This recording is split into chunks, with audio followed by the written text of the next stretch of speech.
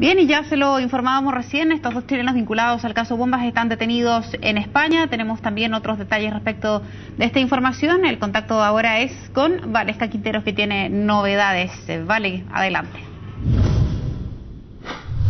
Sí, buenos días. Han surgido diversas reacciones luego de que se conociera esta noticia frente a la detención de dos chilenos en España que fueron formalizados por el denominado caso Bombas. Hablamos de Francisco Solar y también de Mónica Caballero, quienes fueron detenidos por la policía española por supuestamente haber participado en la colocación de un artefacto explosivo en una basílica de la ciudad de Barcelona, ese país. Vamos a conversar justamente con eh, quien estuvo a cargo del equipo de investigación de la Fiscalía Sur, el fiscal Raúl Guzmán, fiscal metropolitano sur, bueno, para saber, eh, por supuesto, sus... Eh, impresiones respecto a esta situación y esto si considera usted que es un aspecto más bien que ustedes evalúan como positivo porque ellos fueron efectivamente detenidos allá. Bueno, la detención de estas dos personas viene a ratificar su participación en hechos ilícitos de esta naturaleza, esto es la colocación de artefactos explosivos.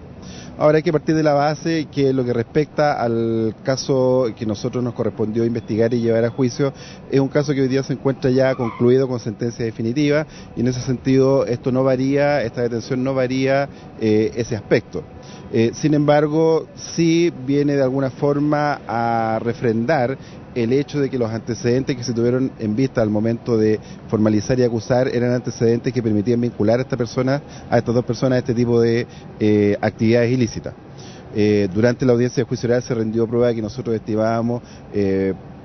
relevante y pertinente y además contundente para poder haber obtenido una sentencia condenatoria, sin perjuicio de toda aquella prueba que se eliminó durante una audiencia, que es la audiencia de preparación de juicio oral, por causales que eh, no permitieron impugnar a través de recursos procesales dicha decisión,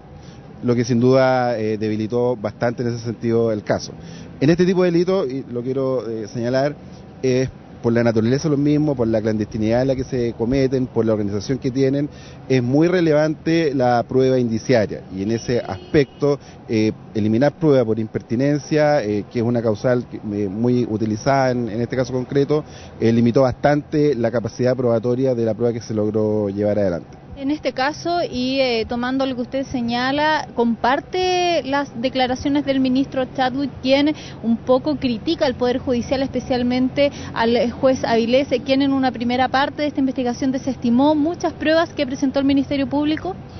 Yo no me voy a, referir a ese punto, eh, yo solamente me voy a tener a que en, respecto de ese caso tenemos resoluciones de los tribunales que se encuentran firmes, es decir, que no se pueden mutar.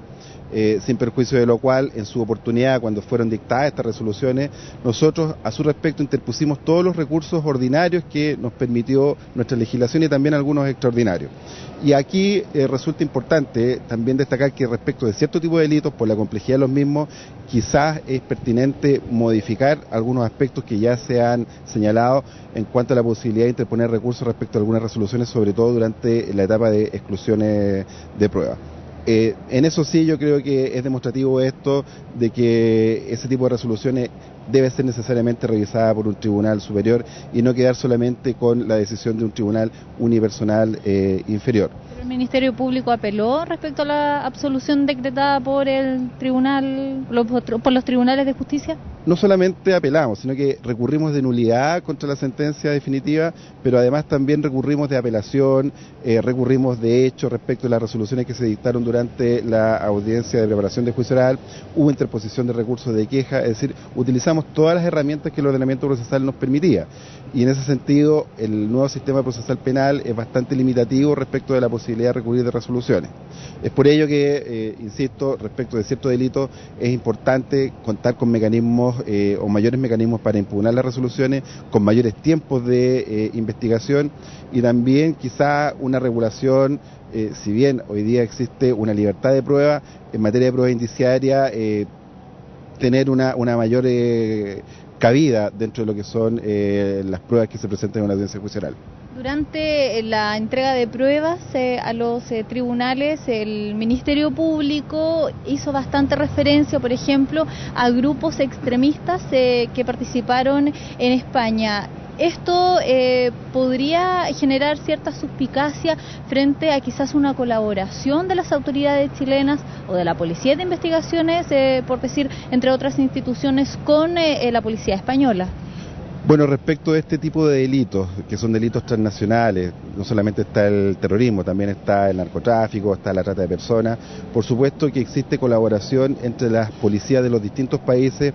para primero eh, evitar la comisión de estos delitos, luego para reprimirlos, investigarlos y si se, cometen, para poder establecer eh, e identificar a los responsables y establecer su responsabilidad penal. ¿Sí le ha estado colaborando con la Policía Española? Bueno, yo lo desconozco eh, de manera concreta, me imagino que existen canales formales de comunicación y de colaboración. de hecho, el año 2012 hubo una actividad de capacitación que llevamos adelante acá en Chile, particularmente en la Escuela de Carabineros, en donde vino tanto la Policía Nacional Española, miembros de la Policía Nacional Española eh, que están dedicadas a la investigación de este tipo de delitos, como también miembros de la Fiscalía Española eh, a conversar sobre estos temas, a capacitarnos, a transmitirnos su experiencia y la verdad de las cosas es que desde esa perspectiva estimamos que la labor que realiza tanto el Ministerio Público como las policías eh, se encuentran dentro de las actividades o de, los estándares que también utilizan las policías y los ministerios públicos europeos para la investigación de este tipo de delitos. Quizá sea necesario efectuar algunas modificaciones o ajustes legales, ya sea en la ley de control de armas, ya sea en la ley de conducta terrorista o en el Código Procesal Penal, para contar con mejores herramientas para investigar estos delitos. Eh, para además contar con adecuados tipos penales para sancionar y reprimir estos delitos, sin perjuicio de que además siempre y la investigación de eh, delictividad compleja como esta, es necesario contar con recursos tanto humanos como materiales para su investigación. Y la ley de fortalecimiento del Ministerio Público, el proyecto de ley, lo que busca es eso, que podamos contar con más fiscales, que podamos contar con más herramientas para poder investigar adecuadamente. Los seis formalizados eh, en este caso fueron absueltos. ¿Le queda a usted la sensación fiscal que a lo mejor se pudo haber hecho más? Eh, ¿Hay alguna, algún análisis eh, luego de que este caso que fue tan bullado, que involucró también, por ejemplo, al ex ministro del Interior Rodrigo Gispeter, al ex fiscal Alejandro Peña, eh, que fueron bastante criticados. ¿Qué análisis hace usted al respecto luego de esto? Bueno, después de esto, los análisis de alguna forma ya se han hecho, en el sentido de que los tiempos de investigación eh, fueron cortos, no se permitió ampliar el periodo de investigación cuando se solicitó aumento de plazo de investigación, lo que también dificultó lo mismo y quedaron muchas diligencias quizás sin realizar. Y derivado de lo mismo, y sobre todo viendo hoy día lo que ocurre, muchas quizás de esas críticas que se hicieron tanto al Ministerio Público como a las policías o a las personas que usted me ha eh, señalado pueden eh, haber sido apresuradas, pueden haber sido quizás eh, injustas. Y bueno, hoy día tenemos este antecedente que es lo que está ocurriendo en otro país. Eh, acá tenemos algunas investigaciones aún vigentes y tenemos que atenernos a lo que ya se resolvió internamente y continuar adelante con todas aquellas investigaciones que aún están abiertas. Fiscal, ¿qué podría suceder ahora, luego de la detención de estos dos chilenos? Bueno, me imagino que en España eh, se van a ser presentados ante los tribunales para efectuar el respectivo control de detención. Además existe la facultad de ampliar la detención por cinco días allá en España en estos casos. ¿Un poco eh, parecido a lo que sucede en Chile, el sistema judicial de acá? Un poco parecido a lo que existe en el sistema judicial de acá. También existe la posibilidad de ampliar, ampliar estos plazos de investigación, eh, de detención, perdón y eh, se presentarán las pruebas en su oportunidad para eh, solicitar las medidas cautelares personales que me imagino que será la de prisión preventiva. Es decir, se inicia ahora un proceso de investigación en donde hay una mayor eh, participación de la Fiscalía y de tribunales en el control de la misma. ¿Se podría solicitar una extradición o esto se debe cumplir solamente en España? actualmente tengo entendido que tanto Francisco Solá como Mónica Caballero, no, recuerdo que tenga causas pendientes acá en Chile como para, eh, para la cual se, sea necesario realizar un procedimiento de extradición. Lo que puede ocurrir es que tanto la Policía Española como la Fiscalía puedan solicitar antecedentes eh, a, a sus pares de Chile pero una extradición que sea solicitada por Chile respecto a estas dos personas, eh, desconozco que tengan alguna investigación pendiente en donde estén eh, con alguna orden de detención pendiente. Le agradecemos este contacto y por aclarar también esa información. Francisco Solar y Mónica Caballeros eh, fueron detenidos, ya lo decíamos, en Barcelona por este atentado que em, se habría efectuado también en esa ciudad, una basílica, el pasado 2 de octubre. El ministro del Interior eh, del gobierno de Mariano Rajoy, Jorge Fernández, eh, ha señalado que eh, ellos aparentemente participan de un comando anarquista sumamente peligroso y que se denomina el Comando Insurreccionalismo Mateo Morrale. Ellos, recordemos que fueron absueltos en el denominado caso Bombas, se fueron involucrados por la colocación de distintos artefactos explosivos en nuestro país en delitos que se cometieron, supuestamente, que se cometieron en el año 2006 hasta 2009 y mm, bueno, ellos se encuentran detenidos en estos momentos y también eh, señalar que ellos, eh, bueno, decir nuevamente que fueron absueltos eh, en este caso, así es que hay que esperar a ver también